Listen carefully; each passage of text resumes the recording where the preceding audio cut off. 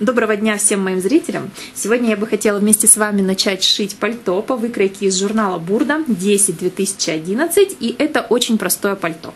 Прямой силуэт, шалевый воротник, простой рукав, не двушовный и карманы в боковых швах. Причем карманы в боковых швах я делать не хочу, я хочу вообще это пальто сделать без карманов, но я добавлю на спинке шов центральный и внизу будет шлица, чтобы было удобнее носить, потому что я это пальто удлиняла немножечко и, соответственно, чтобы было в нем удобно ходить, я хочу сзади сделать шлицу, плюс я хочу, а, ну, скажем так, прокачать еще немножко навык шлицы. Я делала их в юбках, в платьях, но еще ни разу не обрабатывала шлицу в пальто. У меня здесь шерсть, в составе шерсть, шелк и махер. Вот, других добавок нет, ткань очень мягкая, ткань такая с небольшим ворсом, я вам ее не показывала в закупках, в покупках, потому что думала, что я сошью из нее еще прошлой осенью. Я купила ее где-то, наверное, в сентябре, может быть. Вот. И, ну, думала, что сошью, но как-то не хватило времени. И, в общем, потом уже решила не торопиться, сшить весной. В общем, видите, она очень нежная. Она прям вот такая вот мягонькая. Я не даже скажу, что она как бы тоненькая, пластичная. Ну, вот, видите, прям она вот так вот складывается. Буду показывать сразу деталь и как я ее продублировала. Значит, у рукавов я продублировала вершину аката, чтобы вот здесь потом, ну вот он, когда будем в пройму втачивать, он был такой аккуратненький. Также сделала меточки, ну, кстати, меточки уже подстираются, где у нас, э, ну, соединяется с полочкой будет. А также рукава нужно будет еще проклеить по низу. Но я это сделаю, когда уже точно утвер... утвердю э, длину рукава, пока я не уверена, как будет. Я удлиняла выкройку рукава на 5 сантиметров, то есть бурдовскую выкройку я удлиняла. Посмотрим там, что, что как будет. У меня, знаете, тут уже я брала, по-моему, 2,8 метра.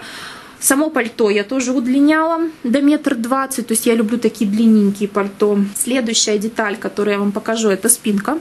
На спинке у меня будет центральный шов, я также здесь проклеила. Еще я думаю, что можно дополнительно проклеить вот здесь, например, плечевой срез, плечо у спинки. Но можно не проклеивать, а когда будем подшивать, подшить сюда полосочку бязи. Я такое видела а, в каком-то из мастер-классов по пошиву пальто Максмара. Когда мы с вами что-либо проклеиваем, а, важно предварительно попробовать на кусочки ткани. Особенно если мы с вами шьем пальто, и это какой-то дорогой материал.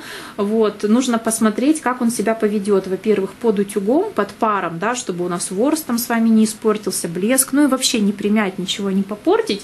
Вот. Во-вторых, не будет ли заметен переход от э, вот дублированной части к недублированной, потому что и такое бывает.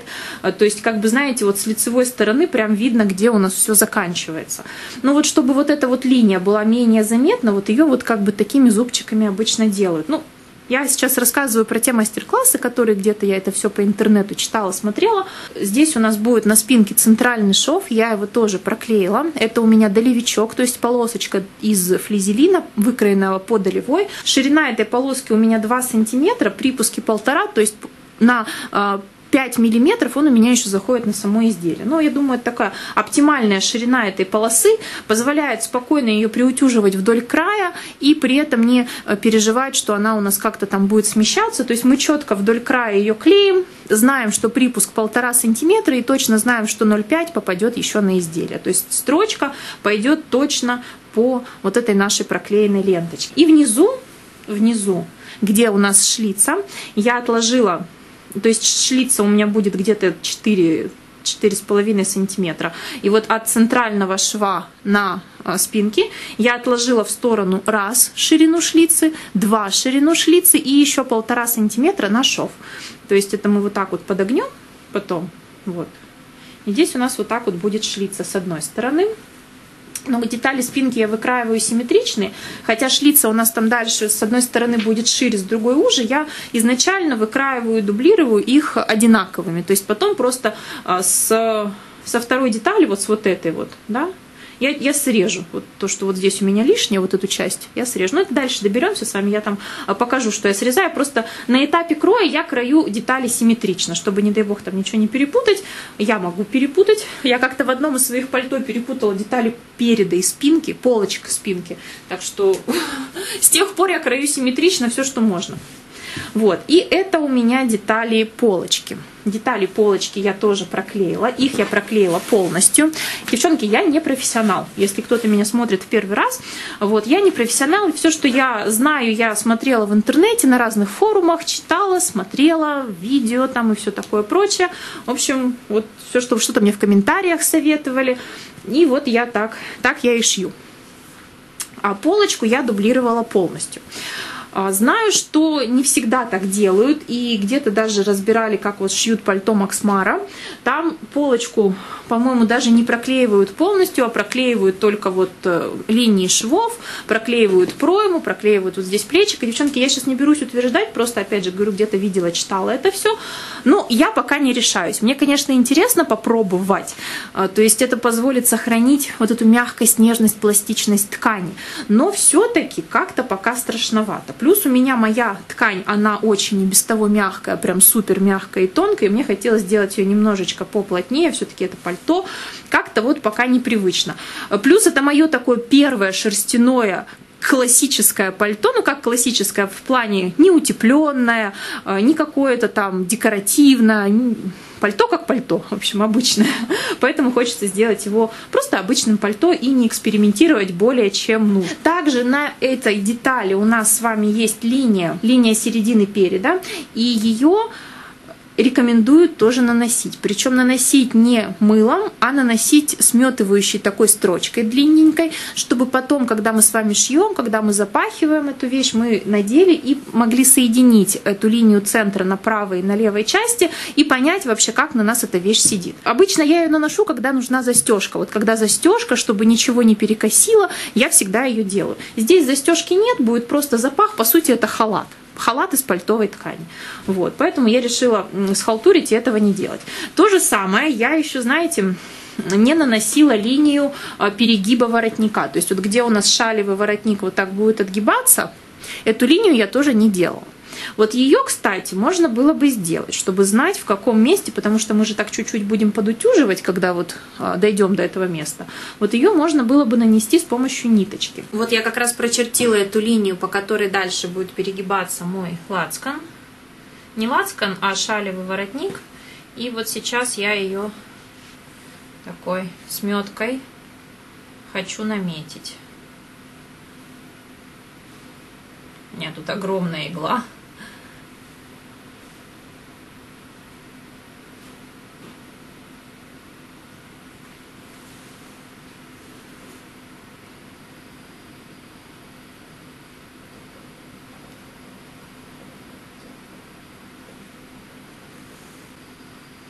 Вот.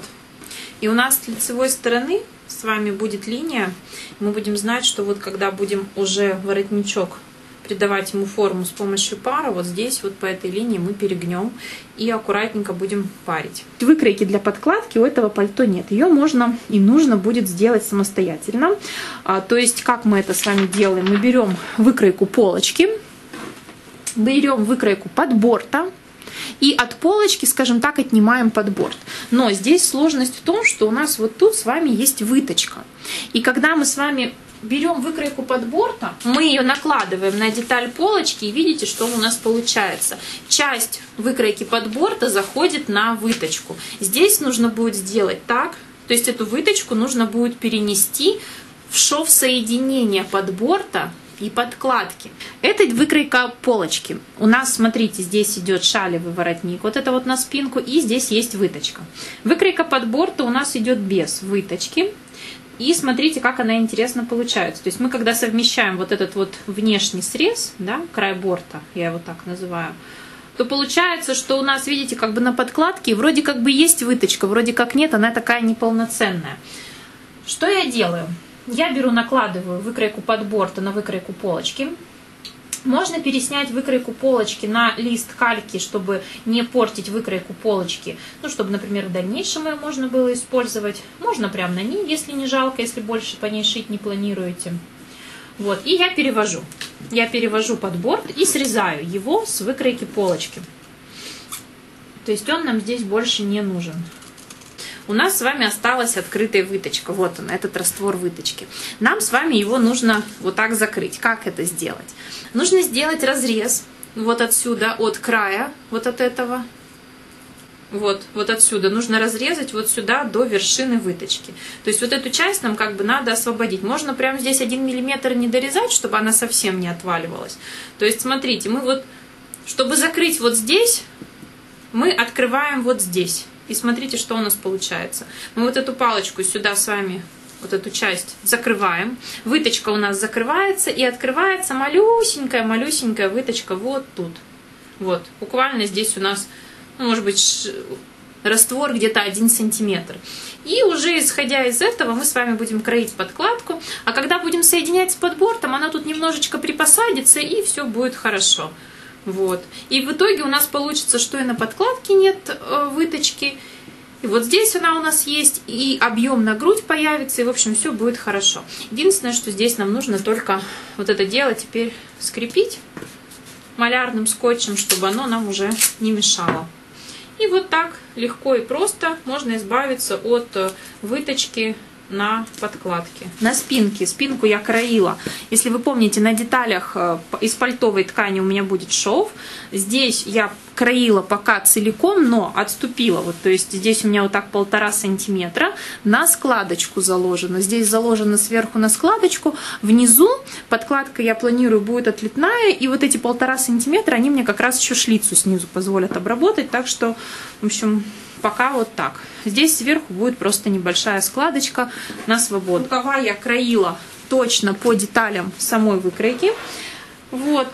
Когда буду соединять с подкладкой рукава, здесь, возможно, по низу я немножечко срежу лишнего. А, ну, там будет видно в зависимости от того, как будет укладываться рукав. Но я пока краила такими же, как пальтовые. Там видно будет. Вот, собственно, все.